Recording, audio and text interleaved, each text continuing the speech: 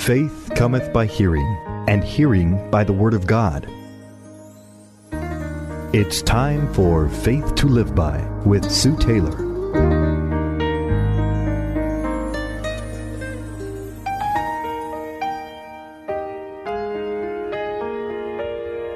Thank you for joining me today on Faith to Live By. This is Sue Taylor.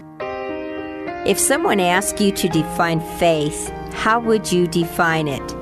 We need to, as Christians, from time to time, stop and ask ourselves, what is faith?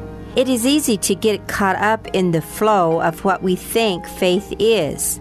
We go to church, we are good and moral people, we read our Bible, and from time to time, maybe we have a devotional time if we can find the time.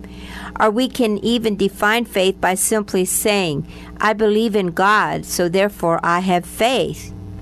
You know, faith is essential to the Christian life. It is the foundation and the basis of Christianity. Faith must have an object, and it must have something or someone to believe in. Ours as Christians is God the Father and the Lord Jesus Christ.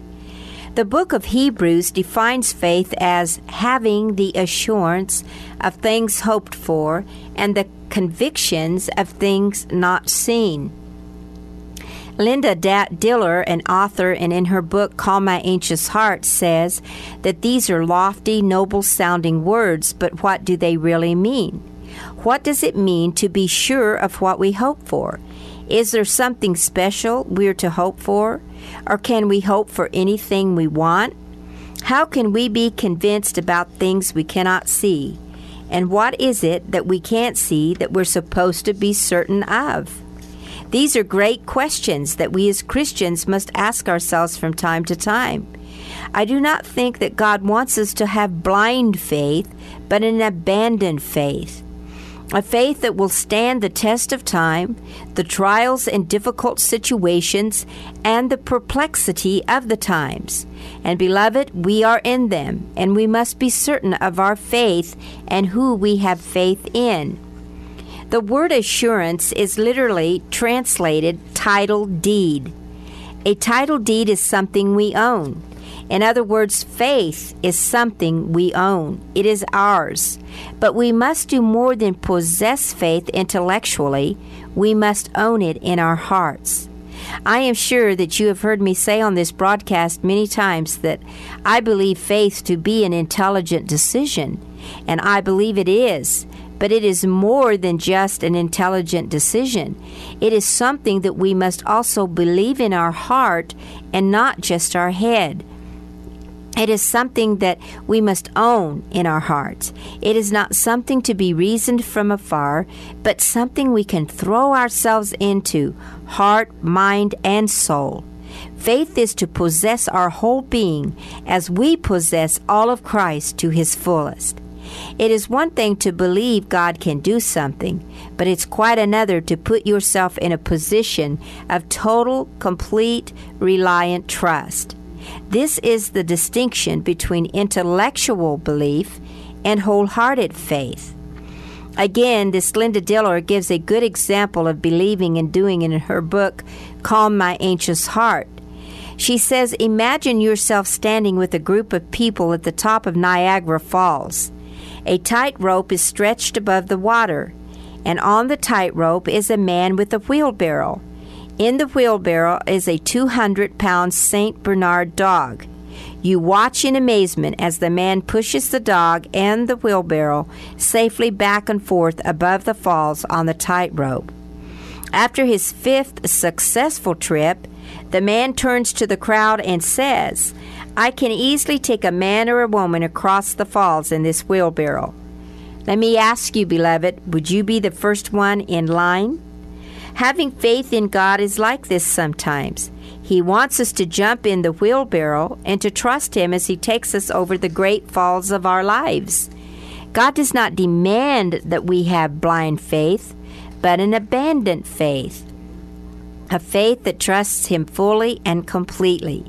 He tells us hundreds of times throughout the Old and the New Testament to have faith, and that without faith it's impossible to please Him, and that we, the just, shall live by faith. So we know that we are to have faith and that it is the foundation of our inheritance, our hope, and our future. So, what is faith? I believe that faith is twofold. Faith is rooted in God's character and person, not in my character or my person, and faith is based on His Word and not on my feelings or my intellect. God is to be the object of my faith and your faith. And when we know and understand who God is and that we can trust Him, we will hop in that wheelbarrow with Him pushing it. We can trust and have faith in God because, dearly beloved, of His wonderful character. His character is always the same.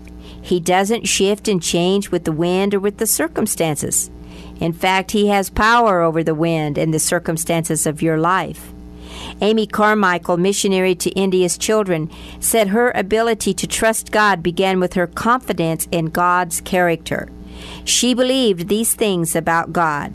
First and always, that He was a loving Father, that He operated in love. Secondly, that He is in control and everything He allows into our lives is ultimately for our good. And finally, she said, like a little child, she tucked herself into God by trusting Him. And she was able to carry her, and He was able to carry her through all things. Like Amy, dearly beloved, let us tuck ourselves into the totality of all that God our Father is. Confidence in God's character enables us to throw ourselves with complete abandon into His care. How can we climb into the wheel, wheelbarrow of life if we know nothing of the one, one behind it or the one directing the wheelbarrow? God's character is first of all sovereign. There are no accidents, nor mistakes, nor miscalculations. All is under his sovereign control, and nothing is permitted but what he has decreed it or allowed it. Secondly, God is sovereign because he is all wise. The word wisdom in the Bible is the translation of a Hebrew word that means skill. Applied to God, it means that He has the skill necessary to direct us in any and every situation. Thirdly, God is love. We can affirm that God is love, but that love isn't true for us until we personalize it in our walk with Him. God gave His life for us as proof of His love for us. You are His child, dearly beloved, and He would do anything for you. Faith in Him is so much easier when you have the confident assurance that He loves you.